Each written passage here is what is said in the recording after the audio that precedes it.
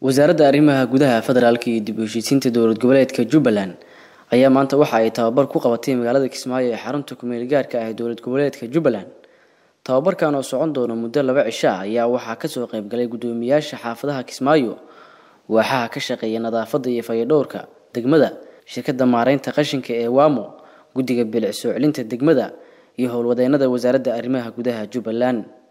Tababarkan oo ku saabsan maareynta qashinka adag ayaa waxaa lagu baran doonaa maareynta qashinka qalalan iyadoo la isla falanqeyn doono noocyada qashinka goobaha uu ka soo baxo habka loo kala guro loona kala qaado iyo sida looga faa'iidaysan karo mustaqbalka.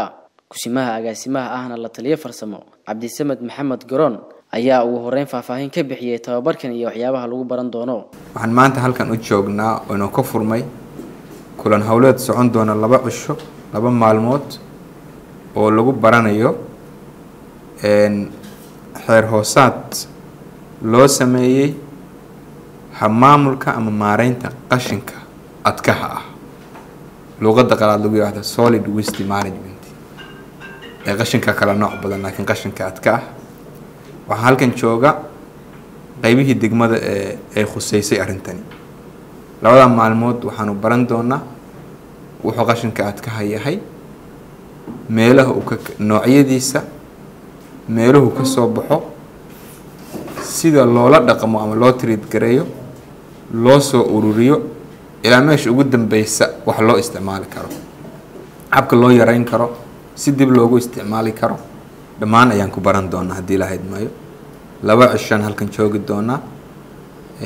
Habra maxaa ahaa baylowgan ama xeer hoosaadkan waxaa loogu talagalay dhammaan degmooyinka dowladda jubbaland ayaa loogu talagalay inay dhaqan geliyaan oo ka shaqaysiiyaan. Gudoomiye ku-xigeenka amniga iyo siyaasadda degmada kismaayo cabdulaahi maxamed cabdi oo goobjoog ahaa tababarka ayaa furay isagoo mas'uuliyiinta tababarka loo qabtay kula dardaarmay inay ka faa'iidaystaan.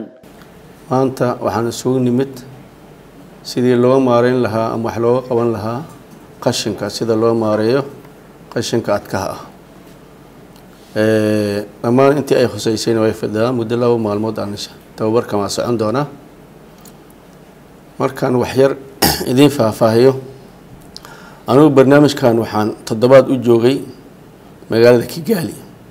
Ruwanda waddanka ruwanda ayaan muddo u joogay barnaamijkan. Wax badna waa ka soo bartay. Qashinkaas wixii adka ah waa la soo guraa wixii caag ah waa la kala saaraa meel lagu kala saaraa jirta. Markii la kala saaro wixii mashiina la geliyaa waxaa dib loogu faa'iidaystaa magaaladii ayaa dib loogu celiyaa. Wixii caagig ahna caagigi waa lagu celiyaayo dadka isticmaala. Wixii kalena waxaa lagu celiyaa beeraha waxaa loo isticmaalaa. Bacriminta beeraha iyo waxaasaa loo isticmaalaa waaba nafaqo. Waxa kalena waxaa loo isticmaalaa calafka xoolaha loo isticmaala xoolaha isticmaalaba marka waxyaabo badanaa loogu faa'iidaystaa insha allahu tacaala anagoo haddii qashinka intaan iska gurno ayaanba gubaynaa waddankaasna qashinka waaba ku horumaray wuxuu ka sameeyaabo lacaga iyo barnaamijyuu ka sameeyaa. Marka barnaamijkaas insha allahu tacaala waa gaari doonaa kambanigan waaman waxaan leeyahay barnaamijkaas wax qiimo badan ku kacay ma aqoon kararsiga noocan oo kale ah ayaa ka qayb qaata wacyigelinta bulshooyinka ee bilicda iyo nadaafadda deegaanka. Ayaan la aadan axmed warbaahinta jubbaland kismaayo